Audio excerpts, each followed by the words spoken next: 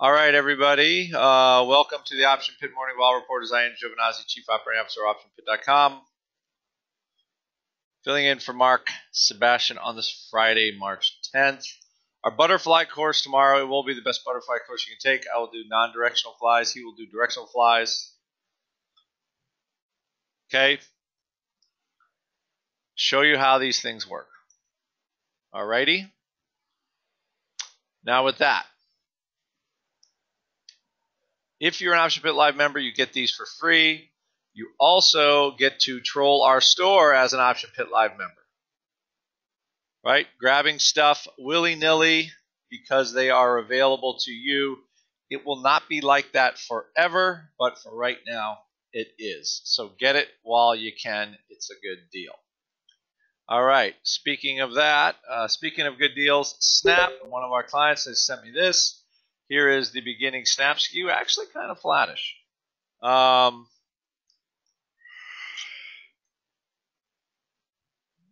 kind of flattish. Um, I was guessing my market on the straddle was $3, $5 for the one month straddle yesterday in our class. And it looks like, eh, well, not bad for a one month straddle.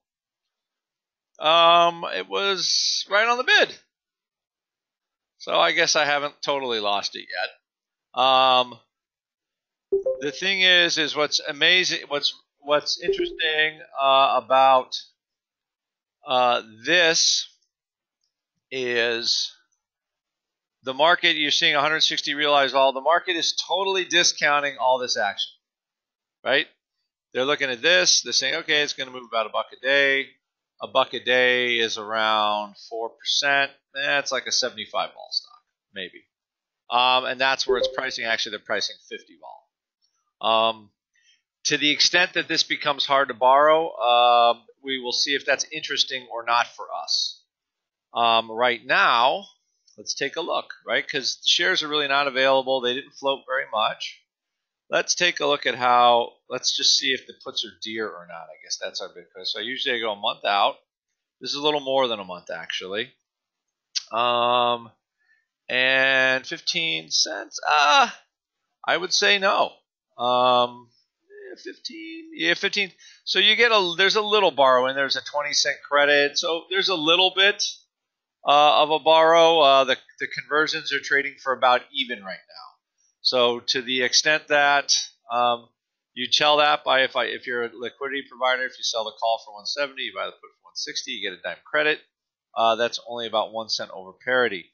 So basically, a liquidity provider right now would be happy to buy stock and buy puts in uh, Snap. So you could probably sell all you wanted um, at that way. We can look at that in our chat today and see if there's anything interesting. Um, to be honest, I think this vol is kind of fairish. Um, based on just what's been happening. You know, nothing's really going to, I don't think we're going to start seeing really action until earnings come out or, you know, it starts to get in the headline news, it starts to get squeezed. We'll see. Um, I think a lot of traders have learned their lessons. You guys remember, I know it's hard to believe, but I think Twitter was what, an 80 or $90 stock at one point uh, in what, 2014?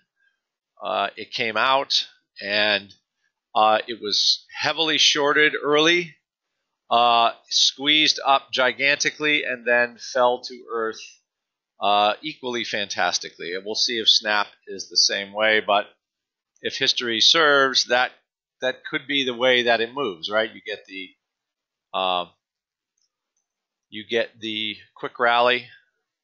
Uh, stock is heavily shorted, then they kind of squeeze it up a little bit, and down it goes. So that would not surprise me. Um, as far as you know, SPX goes, I think uh, the jobs number was pretty good. Uh, 2340, 2400 seems to be kind of the sticky spot. It would not surprise me if we finish green on the day because the market was looking right. There's there seems to be less coming out of Washington the last week um, after all the bombshells of the weekend last weekend. Um, so I think that is playing with sentiment.